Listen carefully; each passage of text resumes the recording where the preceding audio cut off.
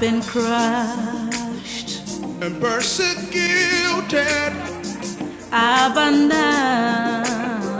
but not destroyed.